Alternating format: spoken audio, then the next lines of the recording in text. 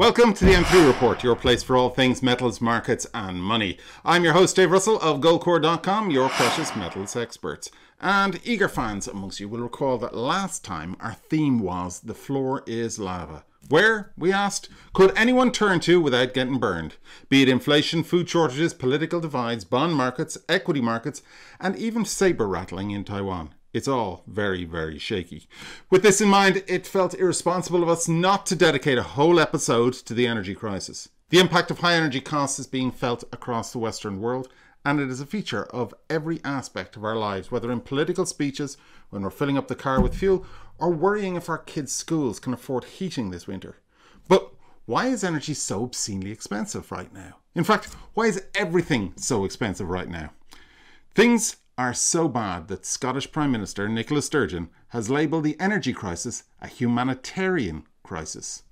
If you believe the mainstream media and your democratically elected politicians, then we can all blame Putin. But this is a blinkered view to say the least. Now, I was a bit up against it this week, so I asked Jan Skoyles to set the record straight and explain how we got where we are today. Surging inflation in product and commodity markets had become a reality long before the events of this year. The world has been driven into this situation by many years of irresponsible macroeconomic policies pursued by the G7 countries, including uncontrolled emission and accumulation of unsecured debt. Unable or unwilling to find other solutions, the governments of leading Western economies simply accelerated their money printing machines and used this ignorant method to cover their unprecedented budget deficits. Over the past two years, the money supply in the United States has grown by more than 38%. That's $5.9 trillion. The EU's money supply has also increased dramatically over this period. It grew by about 20%, or 2.5 trillion euros. Today's rising prices, accelerating inflation, shortage of food and fuel, and problems in the energy sector are the result of system wide errors in the economic policies of the current US administration and European bureaucracy. So they printed money in huge quantities, and then what? Where did all that money go? It obviously went towards purchasing goods and services outside the West. This is where the newly printed money flowed. They literally began to vacuum up and sweep out global markets. The interests of other states, including the poorest ones, were disregarded. They were left with scraps at exorbitant prices. While at the end of 2019, the US imported about $250 billion of goods per month, this figure has now grown to 350 billion. It is worth noting that the growth was 40%, exactly in proportion to the unsecured money supply printed in recent years. They handed out printed money and used it to sweep up goods from the markets of third countries. Obviously, such a sharp increase in demand without adequate supply has triggered a wave of shortages and global inflation. This is where global inflation originates. Dave, I have a bit of a confession to make. I know you asked me to write something that would set us up to discuss energy prices and how we got to this point. I wanted to find a way to explain where the inflation that we're experiencing today, whether in energy prices or food prices or labour costs, originated. I wanted to find a way to explain that the wheels for high inflation were in motion long before Russia invaded Ukraine. And I found this speech, and it said everything I wanted to say. But here's the thing Putin gave that speech, and it's a tricky one. But you know, Putin has invaded Ukraine, and to me, that is reprehensible. He is committing terrible crimes on behalf of his country, apparently. But what this speech shows is that Putin has identified where our true weaknesses lie. And it's not because of this attempted creep into Europe. It's not just about Ukraine and access to Europe and access to the resources that are there. No, Putin has identified that our biggest weakness in the West is our financial system and the damage that has been caused to our money supply over decades, all in the name of growth. Putin might have lit a match when it comes to Ukraine, but sadly, it's a campfire compared to the forest fire that's ready to burn through the Western financial system. And he, along with several other leaders, is ready to exploit that weakness. Okay, well, that wasn't quite what I was expecting from Jan, but if anyone's going to cut corners to get to the point, then it's her. And quite frankly, she's right. Talk about cognitive dissonance. Of course, it makes us feel very uncomfortable using something Putin has said by way of making our argument. But the fact is, he's right. The West is very much to blame for the economic predicament that they now find themselves in, and Putin is exploiting it. As the media sees it, Putin has two arsenals his military arsenal and his energy arsenal. But actually, there's a third arsenal, and it's much, much bigger and much more potent. The weakness of the financial system. Putin might have started a war in Ukraine, but we're entering an undeclared war as currencies of Russia and beyond go head to head with the Western financial system. Much of what Jan and Putin says reminds me of something that friend of Goldcore Brent Johnson talks about, his dollar milkshake theory. Brent's theory is essentially about a sovereign debt crisis and how a world flooded with US dollars can make for a very dangerous time indeed. Yeah, in really simple terms, it's just an analogy that I have used to explain what how I think a global uh, currency crisis or sovereign debt crisis would play out. Um, I typically take it back to 2008, but we could probably take it out long before that. But since 2008, you know, all countries around the world have, you know, provided an enormous amount of stimulus, you know, to their relative economies. The Bank of Japan, the Bank of England, the ECB, you know, the Chinese central bank, the, the Fed. And so they provided all this liquidity. They printed all the money, however you want to describe that, uh, you know, that monetary policy. Um, but for several reasons, which we've kind of touched on today, I think the dollar and the US market is going to capture all of that liquidity that has been provided. Not because it deserves it, not because it's fair, or not because I want it to be that way, but just because I think that's the design of the system. Um, and I think that all that liquidity is going to get pulled into the United States as we enter a crisis. And I think that will that will deprive the rest of the world of liquidity. And at the end of the day, liquidity is the most important thing. And so, as the US has provided liquidity and the rest of the world is deprived of that liquidity, I think it kind of becomes a self perpetuating phenomenon. And that's where you could get the, the dollar and the US markets sucking up all that capital into the US markets and the rest of the markets, you know, being uh, under severe pressure. Uh, and I got the name from a movie called There Will Be Blood about an oil baron who, um, you know, he was negotiating a piece of land with his with his neighbor, and his neighbor really wanted this guy to buy his land. And the guy finally said, I don't have to buy your land. All I have to do is stick a straw down into the ground and I can drink up your oil. He said, I'll drink your milkshake. And so that's kind of where I got the ideas. Um, at the end of the day, in a global market where capital can move around the world, it's not as important who provides the liquidity. It's more important who captures the liquidity. And I think, uh, you know, perhaps not for fair reasons, but I think the U.S. is going to capture that liquidity. Brent Johnson envisions a scenario where the US dollar sucks up liquidity from other currencies and countries worldwide. And right now, outside of the US, we're seeing inflationary pressures in local currency terms, but deflationary pressures in US dollar terms. And of course, this is the worst of both worlds. This situation rapidly becomes a self perpetuating disaster. As John indicated earlier, this is not a story that ends well. A dollar increase of, say, 20% against all other fiat currencies will have a dramatic effect on global markets. We'll see more volatility and an exacerbation of the issues we're already experiencing today. So, is it totally incorrect to say that Russia is solely to blame for the current energy prices and the struggles people are facing to heat their homes? Not exactly, says my guest, Steve St. Angelo. Now, I'm going to start by asking you, uh, according to basically the mainstream media and every single politician that we hear, this energy crisis in Europe is caused by the Russian invasion of Ukraine. That's the narrative that we're being fed. What's the truth? Well, there is some truth to it, but let's let's dissect that. Uh, the the crisis in Europe started before the Russian-Ukraine war, and that's I mentioned this. That's because uh, green energy, wind especially, underperformed in the summer. You had a very hot summer. And then there was a very cold winter hmm. before the Russian Ukraine war. And what that did is it drew down natural gas inventories. And so, and then Europe was trying to build back up its inventories. And Russia kind of held back because, not because Russia, this is before the, the war, Russia's inventories in the first quarter of 2021 were at 19%. Their own inventories in Russia. So they were scrambling to build their natural gas inventories for their own people. So they had cut natural gas uh, uh, exports to Europe. And it wasn't anything you know, uh, it, it, was due to that reason. You take care of your own country first, and so that started the whole problem. And then, then of course, the Russian-Ukraine war happened, and it, yes, part of the problem with the higher prices were due to the Russian Ukraine war, but it's probably more, Dave, due to the US and NATO policies against Russia, due to this Russian Ukraine war. And so there's the sanctions, and now there is the price caps on oil and the price, they tried to do price caps on natural gas.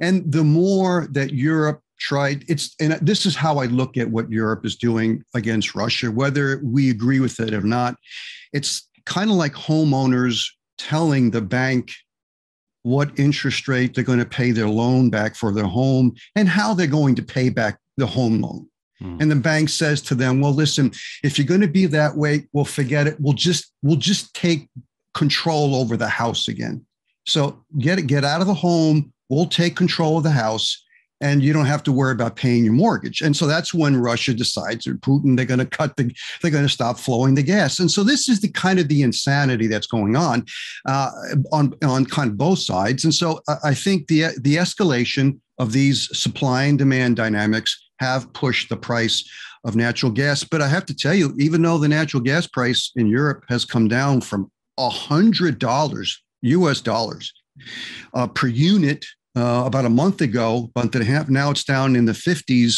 60s, 50s range. It's still six, seven times above the five year average.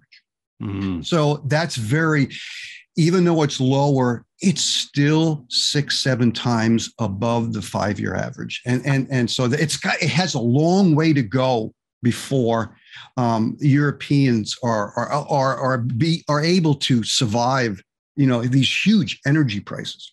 Now tell us, Steve, how how did how did uh, Germany and Europe in general become so reliant on gas from Russia as a as a major source of energy? Well, you see, it's it's um, well. Let, let let's look at Europe and the United States and even Asia. Asia is very heavily dependent. Matter of fact, I have a chart. Europe, if we look at the regions in the world, and we find out what gas they produce and then we find out how much gas they import mm. and you get a number and europe is number one they're the largest net importers of natural gas in the world asia comes in second and the only other region in the world that imports a little bit is central and south america and then right. Africa, North America, the Middle East, and Russia and the CIS states, they're all net exporters. Now here's here's here's where it's it's very interesting. North America, which mostly the US, and Middle East export last year 24 billion cubic feet a day of natural gas. 24. Russia exported 22. So Ru- Russia is the big dog. So mm-hmm. it doesn't it doesn't matter if you say we're going to uh, wean off of Russia. You can't wean off of Russian natural gas because Russian natural gas is almost as much as North America and the Middle East. Now, the Middle East does produce a lot of natural gas, Dave, but they consume a lot of it themselves. They consume a lot of it. So, uh, this is the problem. This is the problem that they're trying to figure out. And unfortunately, there's no, and, and lastly, be, because the world is moving more towards green, especially in Europe and even the United States, even though the Europe is is seeing more problems with natural gas prices because they're more heavily dependent on imports, the United States is doing the same thing. They're getting rid of coal and they're bringing on more green energy, wind and solar. Mm-hmm. But we're producing a lot more natural gas, so we're okay f- for now.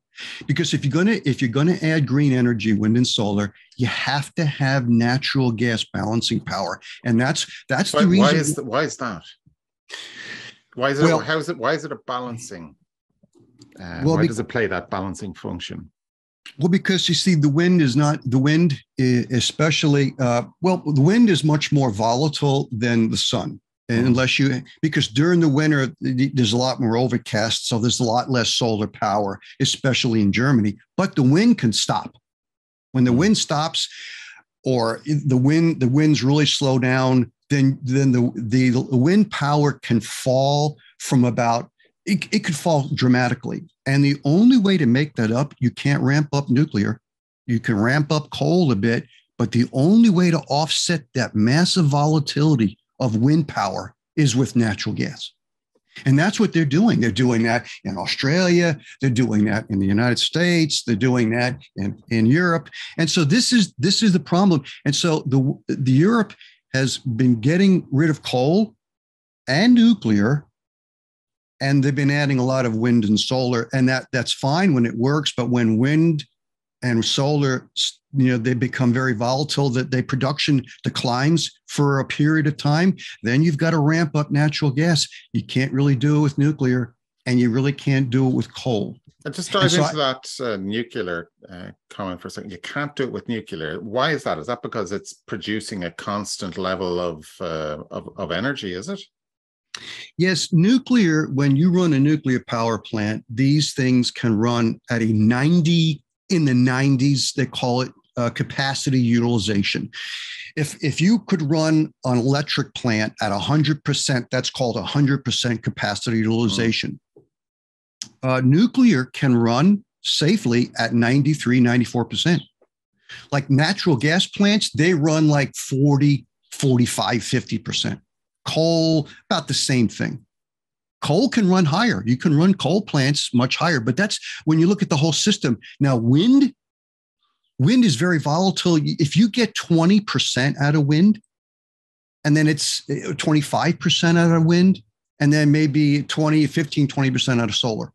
And so, but then the problem is you can run a nuclear power plant at 93%, and then you can't ramp it up much more than that. And so when you look at these power grids, you look at the, the coal and the nuclear, nuclear is this flat line it goes up a little bit and it goes down a little bit, but it's basically a flat line. Coal goes up and down. Natural gas is the one that is huge waves because it's it's being brought on for more consumption, and also it's it's used being used to offset any intermittency with wind and solar because you really can't do that with nuclear. You can't turn nuclear up like you can natural gas. And this is another problem that we're seeing as countries and regions start to uh, increase their wind and solar production, I, I, it's a recipe for disaster, unfortunately.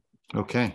And that is because of the lack of consistency that is available there from both solar and from wind. So therefore, you naturally have a are building in a more of a reliance to natural gas when we do this. Is that would that be a fair comment? Yeah, and you know, we went from I called a stable uh, coal and nuclear because nuclear started being ramped up in the 60s and 70s, 80s. Um, and, and, so you had very stable baseload power. And usually, if you go to a coal fired plant, you're going to have uh, three months of coal, typically three months of coal at that plant and then there's the coal that's in, in, different deposits that are being transported. So you've got a three month supply of coal. We have that in the United States. With natural gas, you got you have maybe 30 days.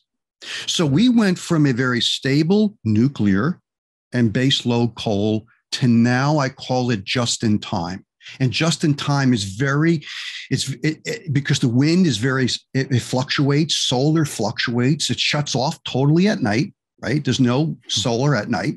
And so you've got to bring on natural gas to offset the solar because people at night are using power. And and and so and then wind in the in the summer really shuts down. And so if you if you've added 20%, 25% wind power to your grid, and then in the summer it just dies, well, then you've got to make it up somewhere or people are going to burn up right? We're seeing that. People are not don't have enough air conditioning. So you have to bring on the, the natural gas and really natural gas is the only thing that can do it. So we're moving to green natural gas very just in time very volatile. So we went from stable grid to now a very volatile grid and natural gas can make that possible only if natural gas production in the world continues to increase I think we're going to have problems with natural gas production in the future. So the whole thing really starts to fall apart if you don't have the natural gas. And Europe would have produced natural gas over the last number of decades, but those levels have significantly dropped now. Is that correct? Well, yes, and this is this is uh, you know some might say, well, that's due to environmentalism. Possibly that's partly true, but uh, uh, you know, the natural gas, we, we went into shale in the United States. And, and so we now we see that maybe Europe or England uh, wants to do that so they can get more natural gas.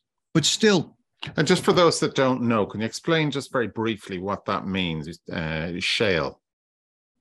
Okay, well, uh, the old way we would we would drill vertical wells and get oil and then you would also do the same for natural gas. You have there's like natural gas fields and then also you get natural gas from oil. Matter of fact when old conventional oil wells deplete you you tend to get natural gas. That's how you know the well's getting old and and, and depleting. You get more natural gas. That mm. that shows you. And so, but now what we're doing is we're doing this horizontal fracking. We go down about a mile and we send out these laterals. They're now they're two miles long, and we put all these holes. We put all these perforations, and we frack.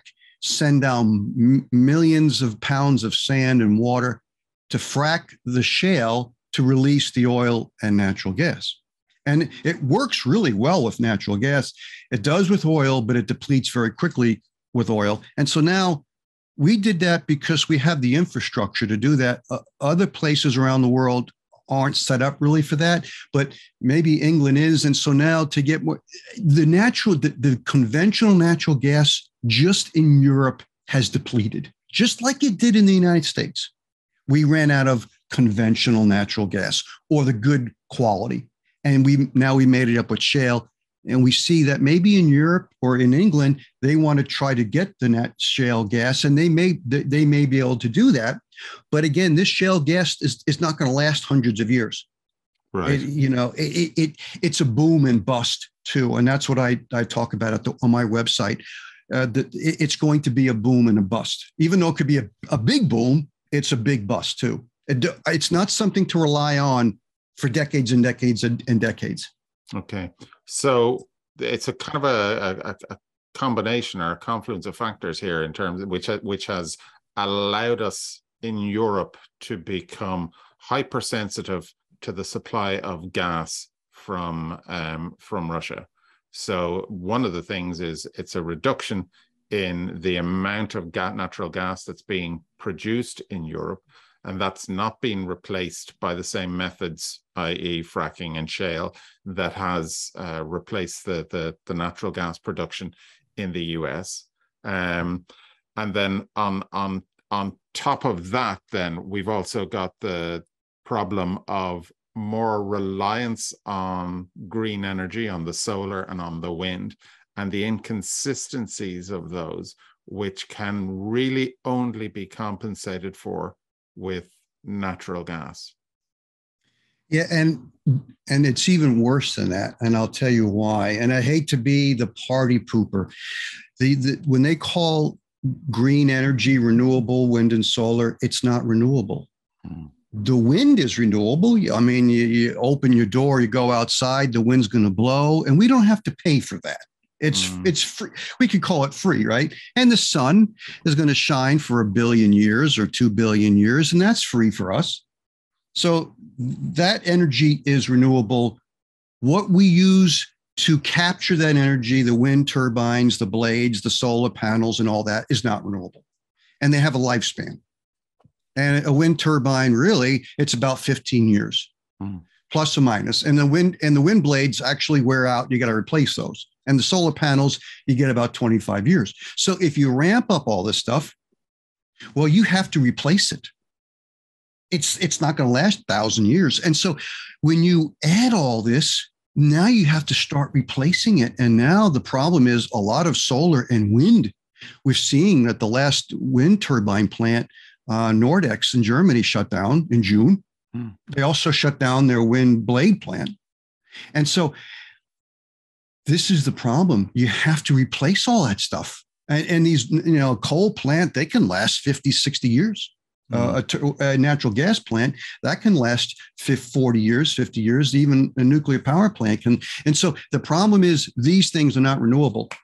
Once they reach their lifespan, you, you have to replace them. And so when, as time goes on, Dave, it, it's going to become very problematic to replace these. And so the, the world's grids are going to come under serious pressure with the ability to maintain electric power as we head over what I call the energy cliff, which is oil, which allows all the other energy sources to function. And we're not going to be able to re- be replacing a lot of these wind turbines and solar panels. And so it, it's unfortunately uh, going to be a very, a very big problem be, above and beyond the issues with Russia and natural gas. So what's the route out of this? Well, you know, people ask me, Steve, what's the pro? What's the solution? And you, the the thing is, you can have a solution to a problem, but you can't have a solution to a predicament. Right. And right now we're facing a predicament. And so the wise minds say we have to figure out a managed degrowth because and we, you know the it's the oil problem that's that's where i the oil is the number one energy source that drives this entire economy. Everything else comes after it. And so if you have problems with oil then you have problems with all other energy sources. And so if we know that and it is true. There are, still is debate about it, but if if we have problems with oil and we're going to have problems with energy sources, the only wise thing to do is to figure out how to manage our economies as this oil production declines. So, and but unfortunately, we're not doing that. We're we're we're we're trying to ramp up more green energy, and we're we're actually going in the wrong direction. That is a predicament. Um, okay, so we're we're we're really at a a situation in the short term where we're being effectively held hostage by a number of different things, and some of them are government policies that have been put in place with respect to the uh, environment and green energy that has led us to become hypersensitive to the supply of of energy. Uh, and we now have found ourselves in a situation where effectively Russia has weaponized energy supplies. Um, and we have found ourselves, the West, the response to the West, um, and the sanctions that have been put in place have actually made these problems worse. And there's talk about energy caps in the UK. They're talking about putting um, introducing a cap on energy, what uh, consumers pay for their for their energy and that sounds great but ultimately what that means is there's no cap on what uh, what price that the wholesale price of energy. So the difference between what the consumer pays for it and what the energy is bought at is going to be funded through uh, exchequer borrowing somewhere between 150 and 170 billion pounds sterling so we're in an energy crisis, which is contributing to a cost of living crisis. We've got inflation in the US; it's at eight and a bit percent officially. In the in in various different places in Europe, it's it's ten percent and above. Um, they're talking about potentially inflation in the UK of eighteen to twenty percent. And our response to this is by making another inflationary move. This is not going to end well, is it? No, and I you see there's a there's a good way to bring this all into perspective. And uh and I mentioned this in one of my Twitter spaces is that we had the 1961 uh, Cuban Bay of Pigs. Now, this is US centric. Mm. And then we had the Cuban Missile Crisis. Remember that? Yes. And then we and then we had the assassination of a president, John F. Kennedy. And then we had the US enter the Vietnam War, where we dropped, we rolling thunder, we dropped more bombs on Vietnam than we did in the entire World War II. And then we had the uh, the seven day Arab Israeli War in 1967. And then in 1968, we had the assassination of Martin Luther King, huge protests in the United States. And then we had the assassination of Senator Kennedy, who was running, Robert Kennedy running for president. And in those seven years, we had all these massive geopolitics. And you know what? The, do you know how that impacted the price of oil? Hmm. Nothing. It stayed at a dollar eighty in 1961 to a dollar eighty in 1969. No, there's no volatility. And so why was that? Because the world was bringing on all this wonderful energy supply, Dave from from the United States was still bringing on more oil. All that oil we found in in the Middle East was coming on. So it didn't matter if the world almost came to a nuclear war, or we we we you know uh, we had an assassination of one of the presidents of the United States. Didn't matter, but now it matters. All these little things matter because we're running a world now at 100 miles an hour and that's how I call it. We're running a car at 100 miles an hour, and it's not designed to do that. We're running the world at 100 million barrels of oil production per day or close to it. And now that's what it's designed to. We've built up this infrastructure to run it at, and we it's hard to maintain it. So now, if there's any problems with supply and demand, there's huge volatility now because we're not going to be able to add much more energy going forward. And so now when you have any of these issues, geopolitics, we have these massive volatility. And this is just beginning. So, unfortunately, what's happening with you're talking about in the UK by printing money to uh, fix the, the price cap. This is uh, governments trying to do something to offset the energy cliff dynamics. And unfortunately, it's just going to get worse because since the financial crisis, Dave, the world has added 12 million barrels a day of growth of oil production, and most of it US and Canada, 85%. Mm. And now US is going to get into trouble with shale oil. It's going to get into serious trouble. I see it collapsing over the next 8 years. And so when we understand if you're going to print money as they're going to do in UK and Europe and elsewhere, you can do that if you add oil but if you don't add the oil like we have in the last 12, 14 years, you look like Venezuela because they printed money and they didn't increase their energy. Actually, their energy production fell. And what do you have? You have hyperinflation. So I think the scenario that we're looking forward to, and I'll conclude here, is things that we own, investments we own, real estate, stocks, and bonds are going to get into serious trouble. They're going to deflate even though we could see them really shoot up due, due to you know volatility but the problem is it's going to be things that we consume are going to go up and especially food and energy. That's where the real inflation because when those prices go up then the housing prices have to come down because you can't that's the that's the give and take. Mm-hmm. and so this is the problem the world on a whole is going to face going forward. We're going to have huge inflation in things we consume, but it's going to be volatile. The prices are going to be very volatile up and down. My thanks to Steve St. Angelo of SRS Rocco Report for joining us on the M3 Report. And you can see our full interview with him sometime next week. And you can learn more about Steve's services by clicking the link in the show notes for this episode.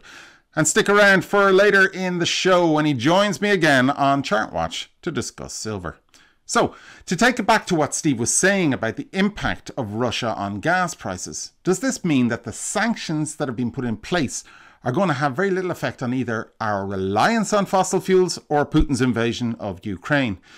The issues surrounding these questions were brilliantly covered on French radio program RTL in a conversation between Yves Calvi and Francois Lenglet. It was so well done, in fact, that Jan Skoyles and I recreated their conversation for you in English.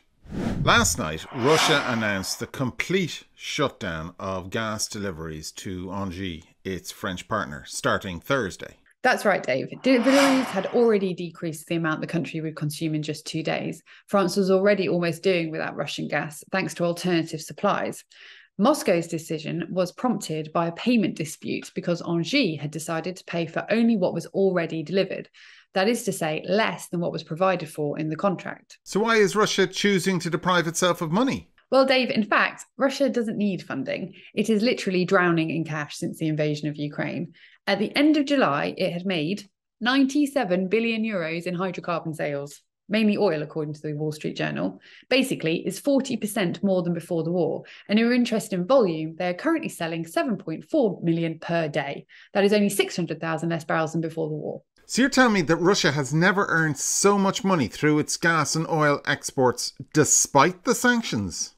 not despite the sanctions, but because of the sanctions, thanks to the sanctions, which have raised the prices by unleashing market speculation.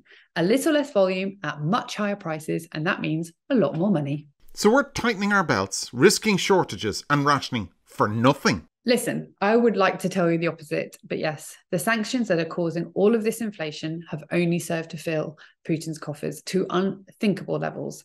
And so far, these sanctions are punishing those who buy from Russia more than they are punishing Russia itself. So tell me, is it not the Europeans who buy the oil? According to estimates by the Centre for Research on Energy, European countries have paid Putin more than 86 billion since the start of the invasion. And that's mainly from Germany. And that is 3,700 euros per second. In the time that I've been speaking for about a minute and a half, more than 300,000 euros has gone from Europe to Russia, and that's without counting the other customers. So, who are these other clients? I'm devastated to hear this. There are many other clients because there is no formal international embargo on the purchase of energy products. India, for example, which had never bought Russian oil before the war, is now buying 1 million barrels of oil a day. And China and Turkey are also very active. Saudi Arabia are buying Russian oil at a low price and it mixes it with Iranian oil. Now, I don't know what that does to a car, but Saudi Arabia are also buying cheap oil from Russia and reselling it at a higher price on the international market. All transport, financing, and insurance for cargoes have been reorganized to get around the fact that Western companies are not dealing with Russia. And most importantly, America is watching all of this without intervening because they fear the rise in energy prices that would happen if the world really was deprived of Russian oil. Well, there you have it. We come full circle back to our introduction. Putin knows exactly where the West's weaknesses lie. He knows it's so much more than a country between Russia and the EU, and our governments and policymakers know this too. Which leads to the question are the sanctions just showboating? Are they just virtue signalling? And if so, for whose benefit? Answers on a postcard, please. And now for something a little different. Usually on Chart Watch, we discuss events that have happened in the week prior, or maybe movements in the gold price, as we did last time with Patrick Karim. However, this week we asked Steve St. Angelo about a graph that he had tweeted about a few days prior and was inevitably going to grab our attention.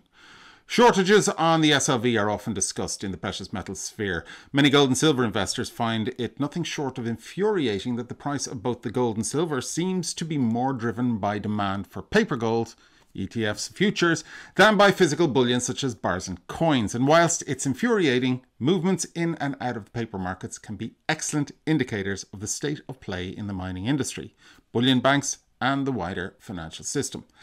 Have a listen to what Steve St. Angelo thinks is going on with the SLV right now. There is on at the time of this chart, and I believe still presently, there's a 60 million share short interest against the SLV, and that's pretty big because there's only 580 million shares, 500 uh, total.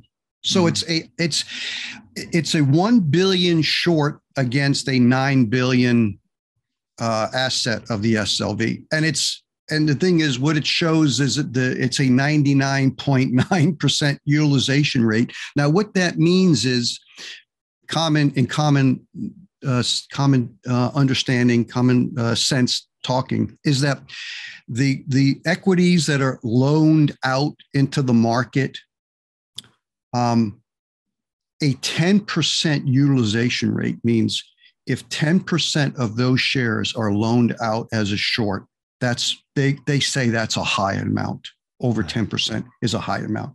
And the SLV is 99.9%. It's actually fallen. It's down to 99.5% today. and so what that means is uh, you you can that that straight line means they can't borrow anymore. There's no more shares to borrow. Right. There's just no, there's really no more shares to borrow.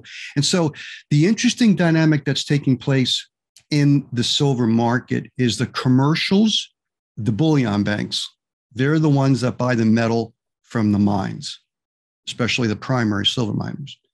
And so when they have a very high sh- commercial net short position, that means the silver price is at a high. And back in March, during the peak, during the Russian Ukraine war, when the price of silver hit a high, the commercials had about a 70,000 net short position. a week ago, they were long 5,000 contracts. The big bullion banks were actually net long. Hmm. And we've only seen this three times. And so now they, they went net short because the price of silver a week ago was it hit it hit like a 17 and it went back uh, it went back up to uh, 20 so they went net short 2500 contracts as of last week. So the thing is we've got the commercials who are now basically even mm. or they have very low they're, they're at the low. And when they're at a low commercial net short position that tends to be the bottom in the silver price. Now at the same time dave we've got a record short position against the slv and there's a lot of speculation why that is and the borrowing cost hit 7% you go back to July, if you wanted to borrow shares on the SLV, you're gonna you're gonna pay 0.2 percent to borrow those shares. Uh, uh, it, it's it's 7.1 percent uh, as of uh, last week Friday. So it's it's a very interesting dynamic to see these two opposites. And so uh, I think something is going to break. Some people believe this is going to be a big short squeeze, which means if the price of silver goes up, they're going to have to cover mm. and they're going to have to buy back these short interests. And so that pushes the price up even higher. To me, I don't know. I, I, I, of course, I'm a, I'm a silver uh, silver uh, bull. I would like to see the silver price go higher, but it, I think it is because the commercials are betting that the silver price isn't going to go much lower. Because you know why that is, Dave? The primary miners, it cost them about twenty dollars to produce silver they're not making any money. And now Why? They've got, now they've got an increase in the energy costs as well. Yeah, well, um, the energy price has fallen. I'm basing mine on the second quarter. Okay. There was it, it was about 20, a little more than 20. Now it might be a little bit less because the energy prices have fallen since the first quarter, second quarter, mm-hmm. but not a lot, not a lot. So it's still probably, you know, in the upper 19s. So the why would the bullion banks hedge? They hedge when the price of silver is well above the cost of production. Hmm. And, and the speculators come in, and that's when you get the large commercial net short position. And you have a lot of speculators going long. But now that the price is down below the cost of production, it doesn't make sense that the bullion banks are going to go more short mm. because they actually think the price is bottoming. I, you know, it doesn't make sense. And so I, it's a very interesting thing. If we, it all depends, Dave, what happens with the Federal Reserve. It could, we, it depends upon what the rate height is going to be and what the market reaction is. If that's very bullish for the markets and the silver price, we could get that short term short squeeze and that we could see those shorts having to cover because it's going to be bullish for the markets and the metals and that we could see a you know a two or three four dollar movement very quickly due to this very high short position hmm. oh, one more thing do you know why it's changed it used to be there was more silver on the exchanges like on the COMEX and the lbma that's where the trading took place. Hmm. Do you know where the trading takes place now? On the ETFs. There's more silver in the global ETFs than there's on the COMEX and the LBMA. And I'm talking about the silver in the LBMA that's not accounted for hmm. for the ETFs. So uh, from my numbers, there's about about 420 million ounces of registered silver on the and the COMEX, LBMA, and the Shanghai Futures Exchange. 420 million. There's almost 700 million ounces of silver held in the ETFs. So it's the movement in and out of the ETFs now that determines the price of silver, as well as the exchange but we're seeing more price action now coming from the ETFs. And so that's why it's very important now with this huge short position against the SLV. My thanks to Steve St. Angelo for joining us on ChartWatch. And if you have any thoughts on the paper versus physical markets, then please let us know in the comments below. It's an area of discussion which has gained momentum and attention in the years following the financial crisis. And if the concerns around the silver paper market lead you to any conclusion, then let it be this one hold physical. When you invest in physical gold and silver bullion through a company such as Goldcore, then you're significantly reducing the counterparty risk compared to when you own, say, a silver ETF or a silver futures contract. You're not relying on a number of layers of people who tell you that there is silver somewhere. When you own silver bars or coins, then they're stored for you in your name. After my chat with Steve St. Angelo on the future of the energy prices and what they really tell us about the times ahead, then I feel even more assured knowing I hold physical precious metals in my portfolio. If you have any questions at all about investing in gold and silver to protect your portfolio over the coming months and years, then please contact my colleagues at Goldcore today. But for now, I'll leave you with the worrying thoughts of Vladimir Putin to remind you of exactly why we should be prepared for tough times ahead. Резкое усиление инфляции на товарных и сырьевых рынках стало фактом задолго до событий текущего года. Мир в такую ситуацию последовательно загоняла многолетняя безответственная макроэкономическая политика стран так называемой «большой семерки», включая бесконтрольную эмиссию и накапливание необеспеченных долгов. Не придумав или не пожелав использовать другие рецепты, власти ведущих западных экономик просто-напросто запустили печатный станок. Таким нехитрым способом стали покрывать невиданные ранее бюджетные дефициты. Уже называл эту цифру. За последние два года, два года денежная масса в США выросла более чем на 38%. Это 5,9 триллиона долларов. Денежная масса Евросоюза, в свою очередь, также резко возросла за этот период. Ее объем увеличился примерно на 20% или на 2,5 триллиона евро. Сегодняшний рост цен, инфляция, проблемы с продовольствием и топливом, бензином, в энергетике в целом – это результат системных ошибок в экономической политике действующей администрации США и европейской бюрократии. Напечатали деньги в огромных количествах. А дальше что? Куда потекли все эти средства? Очевидно, в том числе на закупку товаров и услуг за пределами западных стран. Вот куда они потекли, эти деньги напечатанные. Они буквально стали пылесосить, выгребать глобальные рынки. Об интересах других государств, в том числе беднейших, естественно, никто не думал и думать-то не хотел. Им оставляли только, что называется, как у нас в народе говорят, ошметки, да еще и по астрономическим ценам. Так, если в конце 2019 года импорт, завоз товаров в Соединенные Штаты составлял порядка 250 миллиардов долларов в месяц, то к настоящему времени он вырос до 350 миллиардов долларов. Примечательно, что рост составил 40%. В пропорции это как раз и соответствует необеспеченной ничем накачке долларовой денежной массы последних лет. Вот напечатали, за эти раздали деньги, и за эти деньги выгребли все товары с рынков третьих стран. Понятно, что такое резкое увеличение спроса, необеспеченного товарным предложением, запустило волну дефицитов и глобальную инфляцию. Вот она откуда, эта глобальная инфляция.